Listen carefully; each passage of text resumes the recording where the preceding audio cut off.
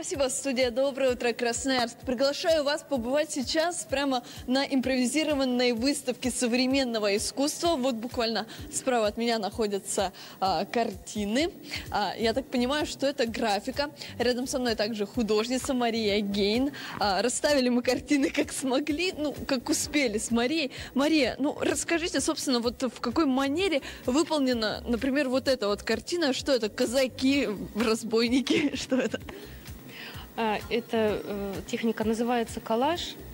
А тематика здесь, э, вообще серия моих работ графических, здесь будет представлено три серии. Э, Называется «Белорусские мотивы», потому что она была создана во время моего, моего путешествия по Беларуси. Здесь можно будет увидеть и белорусский фольклор. А вот например, такое вот обрамление, это специально вот сделано, вот эти цветы? Да, специально. Мне кажется, что это как-то гармонично смотрится. Деревянная рама и э, цветочное обрамление.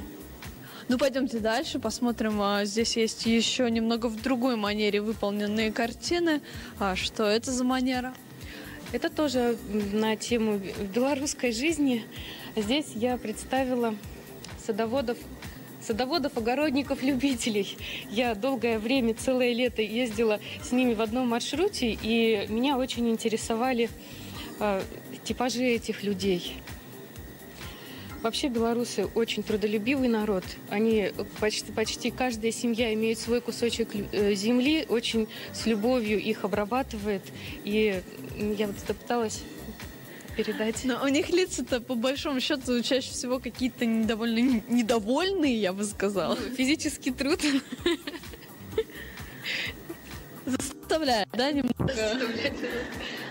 В общем, а скажите, Мария, почему вы еще а, решили поучаствовать, собственно, в выставке «Сибирь молодая»? Что дает вам этот проект? Мне кажется, выставка для художника это э, дело практически первой необходимости, потому что это заряд энергии и возможность посмотреть э, глазами молодых художников вообще на мир.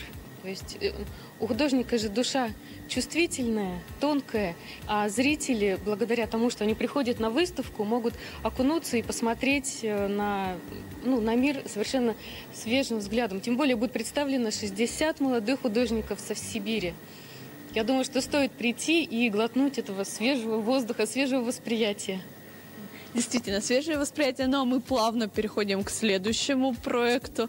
Это уже а, картины, выполненные в другой манере. Вот рядом со мной находится художник а, Сергей Назаров. Сергей, расскажите, собственно, что вкладывали в, в свои произведения. Ну, это серия работ, посвященная теме детские игры. Через детские игры показаны такие смыслы, которые заложены в нас с детства.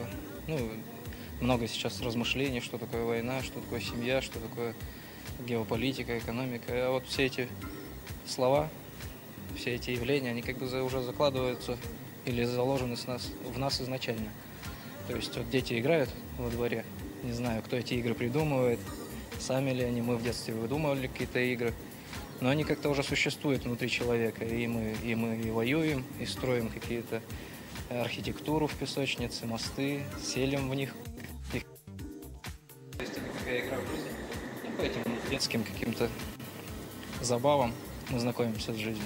И она как бы в нас живет, да.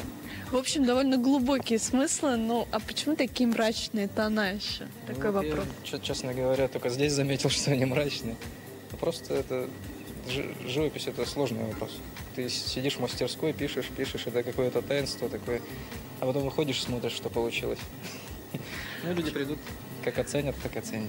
Давайте вместе с вами пригласим а, наших телезрителей посмотреть на ваши работы, на работы Марии, когда, где это можно будет сделать. Конечно. Конечно, всех приглашаем, но это такой вопрос, я даты плохо запоминаю, но, С по-моему... 21 ноября, ноября по 10 декабря.